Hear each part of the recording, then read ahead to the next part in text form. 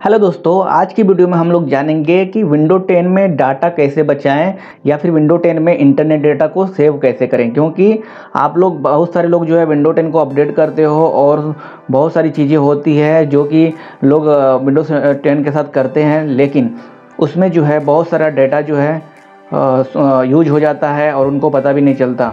तो आज के वीडियो मैंने बेसिकली इसी पर बताया है कि कैसे जो है विंडो टेन में डेटा आप सेव कर सकते हैं, कैसे विंडो टेन में डेटा बचा सकते हैं, एक सिंपल सा टेक्निक को फॉलो करके। ठीक है? तो सबसे बड़ी टेक्निक तो ये है दोस्तों, यदि आप विंडो टेन लैपटॉप यूज़ करते हैं या फिर कंप्यूटर यूज़ करते हैं तो जैसे विंडो टेन करेंगे तो यहाँ पर सबसे जो पहला है, वो तो है कि आपको यहाँ पर सामने ही मिल जाता है। यहाँ पर देखिए, ये जो यहाँ पर आप देख रहे हैं ये जो सेक्शन आप देख रहे हैं, इस पर आपको क्लिक करना है टास्क व्यू पर क्लिक करना है। तो टास्क व्यू पर क्लिक करेंगे दोस्तों, यहाँ पर देखिए सेटिंग ओपन है, ये तो हमने अभी तुरंत ओपन किया है। लेकिन यहाँ पर ये इसको प्रेस करके जब नीचे स्क्रॉल करेंगे तो देखेंगे की कीवर्ड डॉक टी है, जुलाई में ये मैप्स हमने खोला हुआ है, दिल्ली देख रहे हैं सर्च रिज़ल्ट और कितने सारे यहाँ पर बैकग्राउंड में ये सारे ऐप हैं जो कि इंटरनेट से रिलेटेड हैं। तो इसको आपको क्लीन कर देना है, इसको यहाँ से ऐसे ऐसे कटिंग कर देना है। कटिंग करेंगे, तब जाकर जो है आपका डेटा सेव हो जाएगा। वरना बैकग्राउंड में ये सारे जो है डेटा कंज्यूम करते रहेंगे। ये माइक्रोसॉफ्ट स्टोर है तो जानते हैं कि ये जो है सब इंटरनेट से चलता है। तो ये सब आपको जो है इसको हटा देना है। तो ये तो हो गई पहली बात। इसे हटाने के बाद दोस्तों, आप जो है विंडो टेन में डेटा सेव कर सकते हैं बहुत ही ज़्यादा, क्योंकि यहाँ पर टास्क व्यू होता है। उसके बाद दोस्तों, हम सेटिंग में जाएँगे और जो भी हमारा विंडो अपडेट है, यहाँ पर विंडो अपडेट एंड सिक्योरिटी पर क्लिक करेंगे।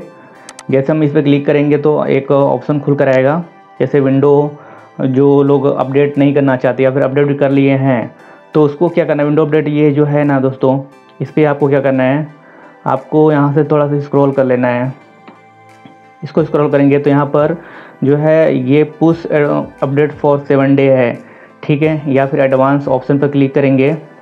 तो यहाँ पर काफ़ी सारे ऑप्शन है। इस सबको जो है आपको ऑफ़ कर देना है। और यदि आप इसको ऑन रखेंगे तो आपका डेटा बहुत कंज्यूम करेगा। और विंडो टेन में जो, दोस्तों, आप बहुत ज़्यादा डेटा जो है यूज़ उसमें जो है यूज़ होता रहेगा और आपका डेटा बहुत ज़्यादा खर्च हो जाएगा।